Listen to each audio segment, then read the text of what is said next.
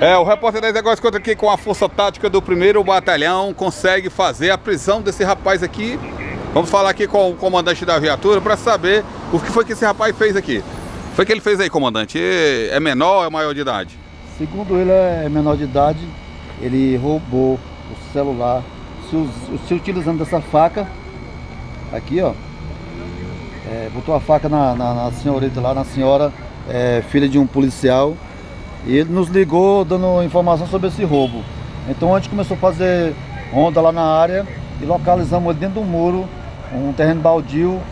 É, já não, não, se encontrava mais com o celular, já havia vendido para outro indivíduo do mesmo é, padrão dele aí, ladrão também. Olha, ele vai mostrar aqui o policial. Olha só o tamanho dessa. Aqui é uma. Acho que é uma espada do Rambo ou do Remen aqui. Olha o tamanho aqui. A espada desse rapaz, o, o punhal do Rambo, mas. Você vendeu para quem foi?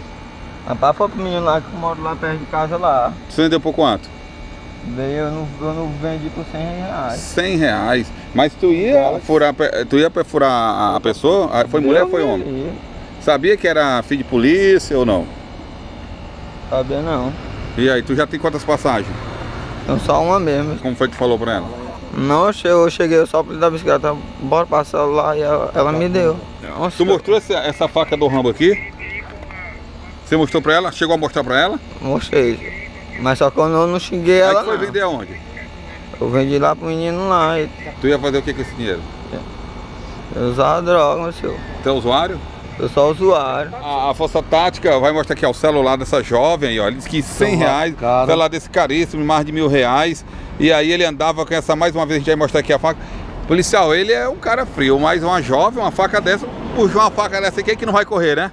Meu amigo, aqui até eu ficaria com medo, porque imagina uma mulher, coitada, em defesa, ele usa de covardia com essa faca desse tamanho para amedrontar e tomar o celular, um celular desse que vale mais de mil reais, vender por 100 reais. A Força Tática trabalha dioturnamente exatamente para tirar indivíduos desses do meio da sociedade, indivíduos que só trazem o mal para a sociedade. Qual o procedimento da polícia agora? O procedimento agora é levar aqui para o delegado fazer o, o procedimento com ele.